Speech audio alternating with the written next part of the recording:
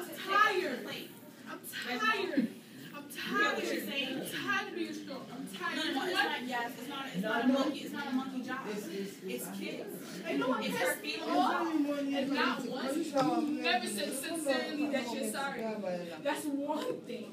If you had even said sorry to me, I can even be more vulnerable. You even say that to me. To see and say at least, you know what, came to a point I was sick and tired of hearing you say, oh, you understand this, and you won't do it again because you kept on doing the same thing over and over again. But then not, not even a scientific for doing this to you. You just keep on doing the same bullshit to me. But Reginald, is this shit.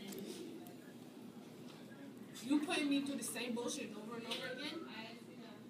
And then, mind you, just recently, what, was no more than two months ago, I got to argue with you. You sat there, you got disrespectful. We sitting there talking about the kids, you sat there, oh, you got disrespectful. Okay. Then you decide, oh, you want to go to court.